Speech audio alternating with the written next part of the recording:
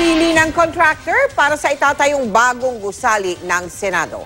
Yun, yan yung kumpanya na dati nang inimbestigahan ng mga senador kaugnay sa maanomalya umanong Makati Parking Building. Nakatutok si Jam Susante Star. Sisimulan ng itayo ang bagong gusali ng Senado sa Navy Village sa Taguig. Ang pagpapagawa ng sinasabing iconic at world-class green certified building magkakahalaga ng mahigit 8 bilyong piso. Ang nanalong kumpanya mula sa walong nagbid para sa construction, ang Hillmarks Construction Corporation na nagbid ng 8.067 billion pesos, mas mababa sa bidding price na 8.5 billion pesos.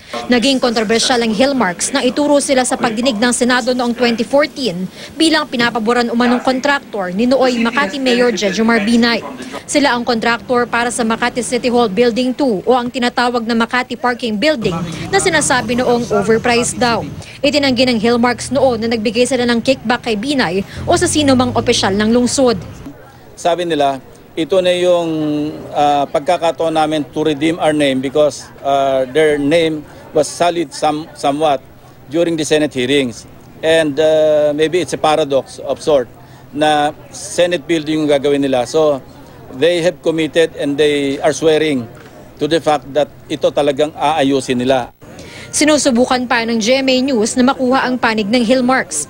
Nagpagawa ng sariling gusali ang Senado para hindi na raw ito gumastos ng bilyon-bilyong piso sa renta sa GSIS. Sa ngayon kasi, mahigit 120 million pesos ang binabayarang renta ng Senado kada taon. Inaasahang makakalipat na ang Senado sa bago nitong gusali sa July 2021.